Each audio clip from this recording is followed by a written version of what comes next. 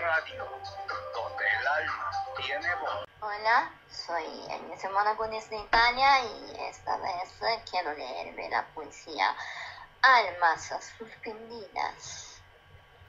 Algunas almas son suspendidos como hilos de lana enredados entre las medallas que el ego no desnominante y las eternas indecisiones.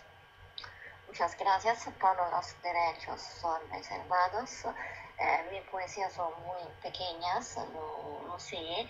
Eh, yo hablo y escribo en italiano, en español, en inglés. también. Espero que les gustaría. Un besito de Agnese Monaco desde Italia. Muchas gracias.